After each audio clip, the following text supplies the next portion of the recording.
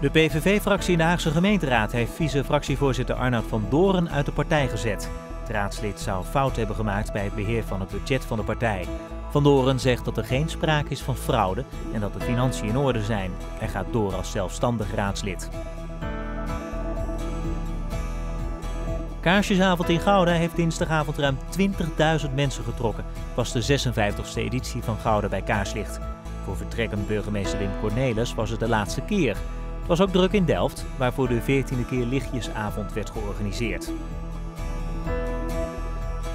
Een motorrijder is zwaar gewond geraakt bij een aanrijding met een stadsbus in Rijswijk. De bus raakte de motorrijder dinsdagavond op de kruising van de Van Mooklaan met de Monseigneur Bekkerslaan.